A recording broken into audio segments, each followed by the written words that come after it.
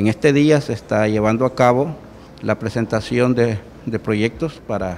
optar al, grado de licenciatura en Administración de Empresas Turísticas. Dentro del proceso de pasantía me preocupé, me emocionaba, este, me, a veces me aburría,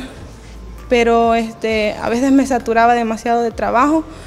pero siempre siento de que aprendí demasiado, aprendí con mis compañeros de trabajo, porque cuando uno llega a la Asociación de Desarrollo Económico Local,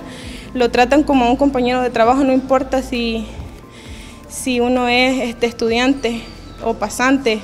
eh, siempre lo tratan como un compañero de trabajo. Este, ellos me ayudaron bastante cuando eh, no podía hacer ciertas cosas, entonces ellos me orientaron. La verdad es una gran satisfacción para mí porque siento de que hay un antes y un después en mi vida, ya que entré como una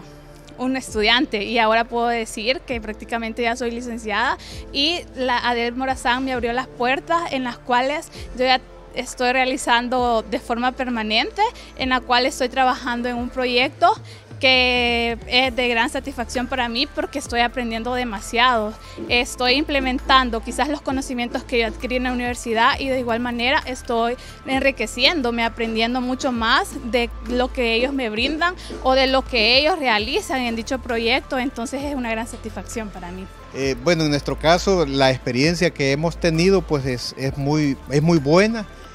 ya que eh, viene a contribuir a los procesos de desarrollo. Este programa de, pasantías, digamos, es importante en primer lugar, pues, este, como un servicio social pues para el desarrollo económico. También este luego que han finalizado ya su periodo de pasantes, pues este se les ha dado la oportunidad también pues para que puedan este ya pasar a ser parte del equipo eh, contratado digamos por la institución y que eso pues este eh, también este, fortalece a ambas partes, ¿verdad? A ellas pues como su primer empleo pues también es una, es una gran posibilidad eh, eh,